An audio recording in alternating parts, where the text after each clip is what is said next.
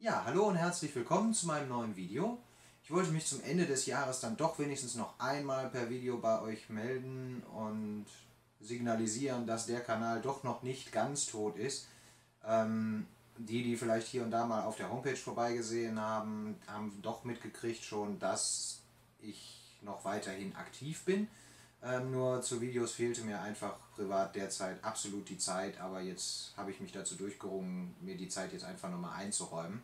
Die meiste Zeit verbringe ich eigentlich, wenn ich zum Basteln und Programmieren komme, derzeit damit, mich um die V2 zu kümmern. Äh, auch da komme ich leider nicht so voran wie gehofft oder geplant. Also erste Quartal 2018 eine Beta wird sehr, sehr eng, kann ich schon mal direkt vorwegnehmen. Ähm, das soll aber gar nicht Thema werden von dem Video, sondern ich habe mich jetzt die letzten Tage ein bisschen damit befasst, den Funksender zu erweitern. Die Erweiterung des Funksenders habe ich soweit auch schon auf der Homepage publiziert, für die, die das noch nicht gesehen haben. Da könnt ihr dann einfach mal auf der Startseite einen Blick drauf werfen. Das ist auf der Startseite mit einem kleinen Post verlinkt. Da habe ich auch schon eine kleine Anleitung zur Erweiterung geschrieben.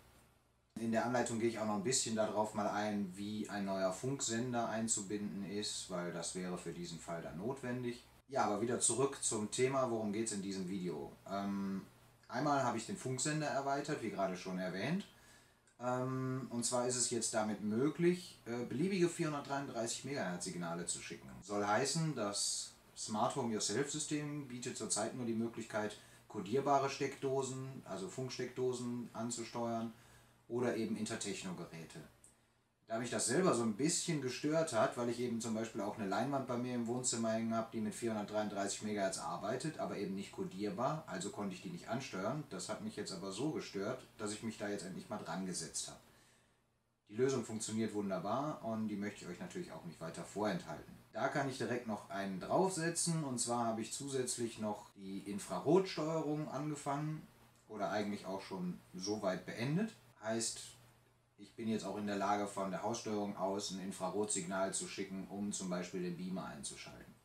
Ich würde euch jetzt einfach mal kurz zeigen, wie funktioniert das Ganze, was müsst ihr dafür tun, um die Erweiterung bei euch zu Hause auch zu verwenden. Und ja, ich denke, der interessanteste oder der schwerste Teil ist eigentlich, äh, das Funksignal auszulesen bzw. den Infrarotcode auszulesen. Auch dafür habe ich ein kleines Arduino-Sketch geschrieben, einen kleinen Arduino aufgebaut, der eben Infrarotsignale einlesen kann, der auf die 433 MHz Signale lauscht. Ich habe ein kleines 0,96 Zoll OLED-Display einfach mal dran gehangen, was mir dann immer den eingelesenen Code oder den zuletzt empfangenen Code auf dem Display ausgibt.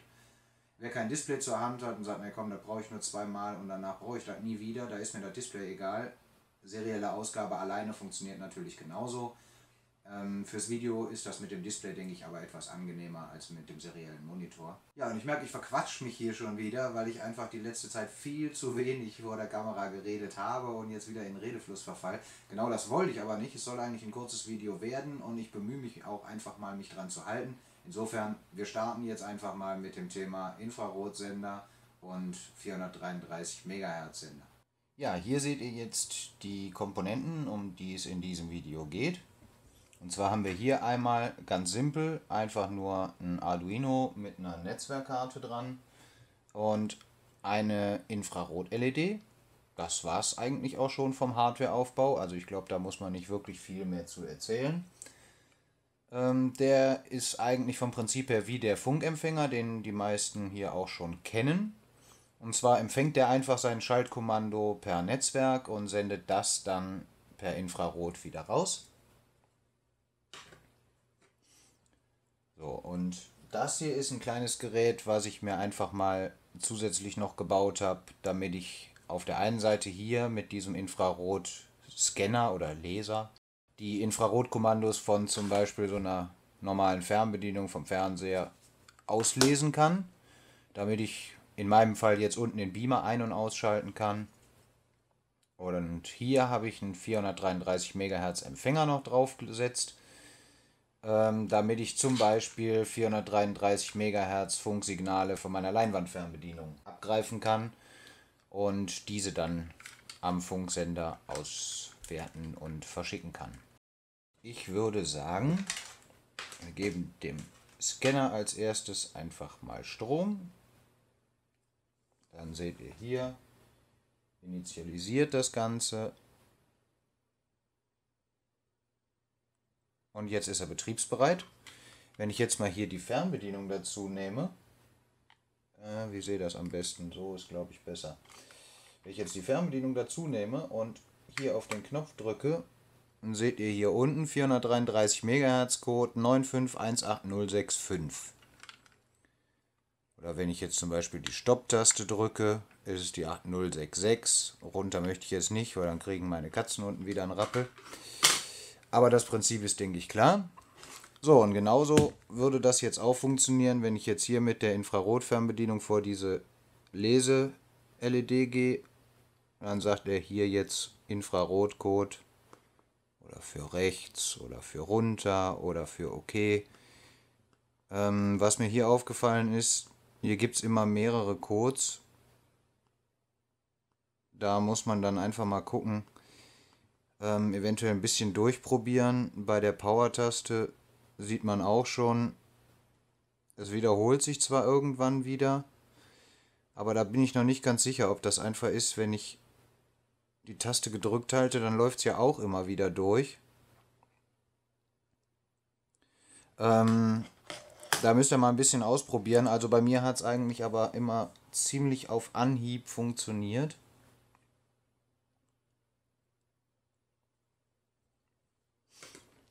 Das wäre auf jeden Fall die Möglichkeit, wie ihr die nachher benötigten Codes einfach mal auslesen könnt. Das Sketch findet ihr auch im Download-Bereich, ist auch wieder im GitHub.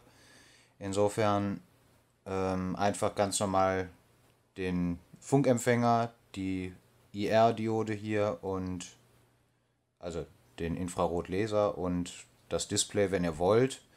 Alternativ habe ich alles, was hier auf dem Display ausgegeben wird, äh, wird auch nochmal auf den seriellen Monitor ausgegeben. Also von daher, ihr könnt das Ganze auch einfach am PC angeschlossen lassen und euch einfach nur da auf dem Bildschirm ausgeben. Nur fürs Video fand ich es jetzt angenehmer, es zumindest mal so im Display zeigen zu können. So, das war das eine. Das war jetzt aber erstmal nur ein bisschen Vorgeplänkel, wobei ihr da ja jetzt noch gar nicht wisst, wofür das Ganze ist. Oder zumindest noch nicht gesehen habt, wo das Ganze einzutragen ist. Dazu gehen wir jetzt erstmal in die Haussteuerung.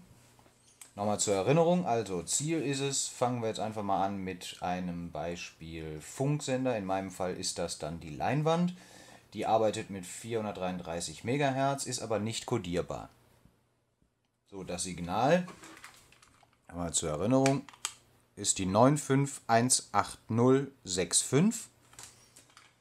Das lassen wir jetzt auch hier mal einfach so auf dem Display stehen. Ich lege das nur mal beiseite. Dann gehen wir jetzt in der Haussteuerung in die Einstellungen. Und was jetzt als erstes mal wichtig ist, ihr bräuchtet einen dynamischen Funksender. Wie auch immer ihr den letzten Endes nennt, ist natürlich euch überlassen. Ähm, eigentlich könnt ihr, wenn ihr den Standardfunksender, egal ob mit oder ohne Bluetooth-Switch habt, einfach nehmen und das geupdatete Sketch einfach da drauf spielen. Also ich habe einfach die beiden Standardfunksender-Varianten genommen und die um eine Zusatzfunktion erweitert. Und zwar ähm, habe ich da jetzt einfach gesagt, alle Funkbefehle, ich glaube, die größer sind als 1000, weil die Haussteuerung benutzt ja nur bis ID 400 oder so oder 369, ich weiß die Zahl jetzt nicht ganz genau aus dem Kopf.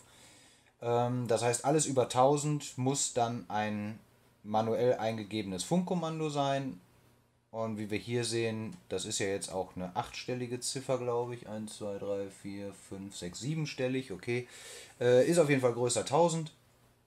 So, und dafür brauchen wir diesen dynamischen Funksender. Wie ihr seht, der hat bei mir jetzt hier auch die gleiche IP wie der normale Funksender. Und wenn wir jetzt da mal uns die Konfiguration ansehen, hat der hier als Standardtyp eigene Funk-IDs. So. Die Sendertypen werden definiert im Bereich Parameter. Dann kann ich mir hier oben den Wert raussuchen. Dann habe ich hier den Sender für Typen für eigene Funk-IDs. Wie wir hier sehen, der hat nur den Parameter Schalte, genau wie der Funkempfänger selber auch. Der Unterschied ist aber, hier gebe ich keine Zahlen an, sondern hier gebe ich einen String an. Weil der Funksender hat jetzt entweder Funk-ID inklusive oder ohne Bluetooth-Switch. Der ohne hat halt weniger Nummern zur Verfügung, inklusive kriegt dann nochmal, ich weiß nicht, 50 Nummern oder so mehr. So, in dem Fall haben wir jetzt aber gesagt String, damit ich hier wirklich frei eingeben kann, was ich möchte. Und wenn man sich das jetzt mal in der Gerätesteuerung anguckt, ich lege jetzt hier einfach mal ein neues Gerät an, Sag mal Test, Leinwand, äh, das Logo ist eigentlich egal, aber ich nehme mal eine Steckdose. So. Und jetzt müssen wir hier halt darauf achten, dass wir auch den richtigen Sender nehmen. Dann nehmen wir den dynamischen Funksender und sagen Speichern. Und jetzt sehen wir, haben wir hier nicht mehr die Auswahlliste, sondern ein Eingabefeld, weil wir jetzt eben ja Text gewählt haben, also String und nicht mehr die Zahlen. Also können wir auch keine Zahl mehr auswählen, sondern können hier jetzt was eingeben. Und da sagen wir jetzt einfach 9518065. Das ist die ID, die wir eben ausgelesen haben für die Taste rauf. So, und dann schauen wir uns das Ganze mal in der Steuerung an. Und dann haben wir jetzt hier Testleinwand. Und jetzt haben wir natürlich hier noch den gleichen Code stehen, deshalb ich schicke jetzt gerade mal eben einfach nur ein anderes Signal.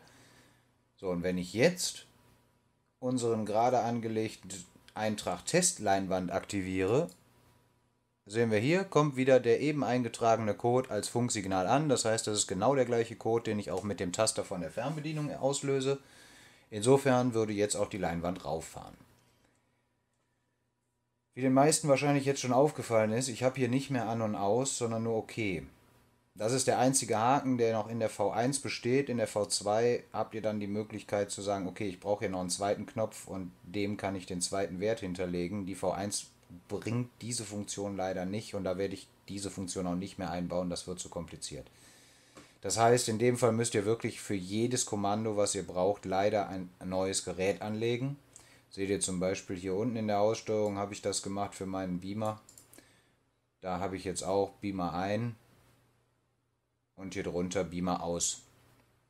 Bezieht sich in dem Fall auf den Infrarot, ist aber das gleiche Prinzip jetzt hier bei den 433 MHz Codes. Die andere Variante ist, dass ihr euch selber ein Sketch schreibt, was auf Funksignale reagiert und diese dann entsprechend umwandelt oder was die Schaltbefehle entsprechend anders auswertet, wo ihr dann meinetwegen sagt, okay, das ist weiterhin einfach nur ein normales Gerät XY. Das heißt, er schickt eine Funk, der sagt dann dem Gerät schalte 50 und bei 50 äh, sendet der halt ein besonderes Signal, wie auch immer. Da kann man natürlich jetzt äh, die ganzen Sachen beliebig modifizieren. Wer da noch Ideen oder Hilfestellungen braucht, der kann sich gerne auch an mich wenden. Das wäre auf jeden Fall so die grobe Vorgehensweise. Jetzt können wir das Ganze gerne auch nochmal eben mit einem Infrarotsender machen. Und zwar nehmen wir dann nochmal hier die Fernbedienung. Ich leuchte hier einmal kurz rein und dann sehen wir hier, habe ich hier jetzt meinen IR-Code. Dann fangen wir wieder hier an. Gehen hier hin, haben hier einen Infrarotsender im Wohnzimmer. Und ich mal hier eben auf Bearbeiten. Um zu, eigentlich sehen wir es auch hier schon, aber auch der arbeitet mit dem Prinzip eigene Funk-IDs. Eigentlich müsste man sagen eigene Codes, weil in dem Fall ist es kein Funk, sondern IR. Habe ich nur der Bequemlichkeit halber, weil ich keine Lust hatte, neuen Typen anzulegen. Weil es geht letzten Endes nur darum, ich brauche den Befehl, den Parameter Schalte und der muss einen beliebigen String in Empfang nehmen. Und genau das steckt ja in dem eigenen Funk-ID schon drin. Das heißt, wir haben jetzt einen Sender Infrarot mit der IP und und und. Das ist halt anzupassen an eure Einstellungen.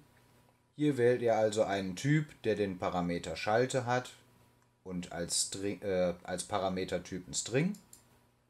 Und dann ist es letzten Endes wirklich genau das gleiche. Also ich jetzt, ich setze mal daneben, sonst suche ich nachher wieder. IR.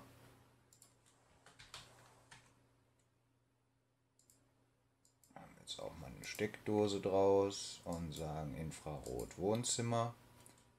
Das heißt, er hat jetzt genau genommen die gleiche Konfiguration wie der dynamische Funksender, was sich ändert oder geändert hat zu dem Funksender, ist halt die IP-Adresse jetzt in dem Fall. Weil es halt wirklich ein neues Gerät ist und da hängt jetzt so ein Gerät am anderen Ende hinten dran. Also der empfängt hier einfach nur den Schalteparameter und gibt den Code dann hier per Infrarot auf der anderen Seite aus. So, und hier bei Schalte würden wir dann die 4274783953 eintragen. Speichern und dann sieht das natürlich auch wieder genauso aus.